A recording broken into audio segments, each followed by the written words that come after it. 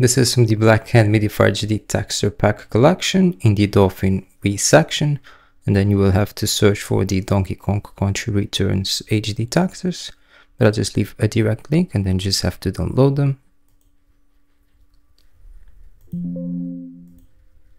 Next, go to RetroArch and run the game with the Dolphin core.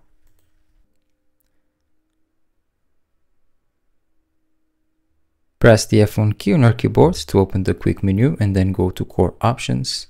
And here in the internal resolution, change it to a higher resolution or you won't see much of a difference in the HD textures. And then scroll down and turn on load custom textures. Now close down RetroArch then go to where you have downloaded the textures and now we need to extract them. And if you're using 7-zip with Windows 11, you can Alt Shift, right click on top of it, go to 7-zip and then extract here. Then go inside of this folder, copy or cut the folder with the game ID.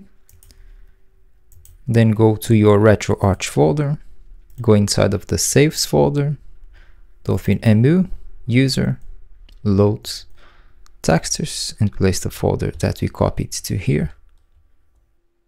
The textures are now installed. Go back to RetroArch, run the game again with the Dolphin core.